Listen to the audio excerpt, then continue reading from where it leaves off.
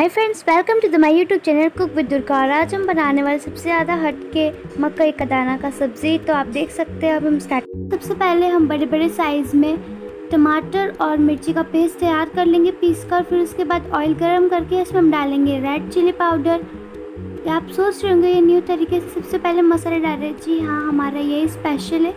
और ये देखिए, इसके बाद इसमें हम ऐड कर देंगे जो हमने प्यूरी तैयार किया।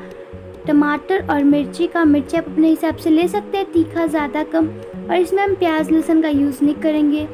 इसे आप नवरात्रि टाइम पे भी खा सकते हैं या फिर नॉर्मली भी ऐसे बना के खा सकते हैं। उसके बिना भी बहुत ज़्यादा अच्छा लगेगा।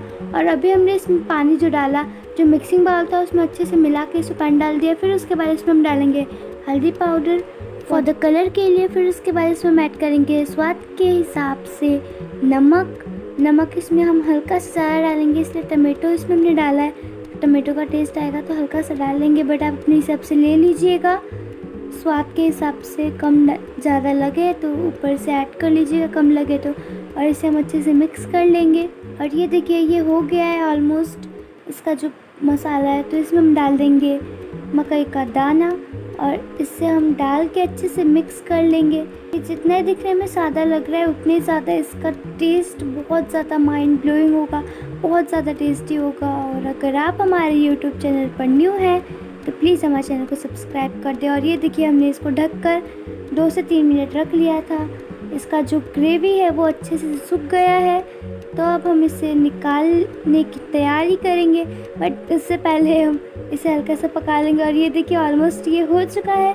तब हम इसे सर्व कर लेंगे। ये हमारा फेवरेट पार्ट है मेरा। बहुत ज़्यादा अच्छा लगता है इसको डेकोरेट करने में कोई भी फूड्स को। तो इसको हम अच्छे से प्लेन करके जस्ट लाइक पिज़्ज़ा टाइप उसके ऊपर से हम डाल देंगे।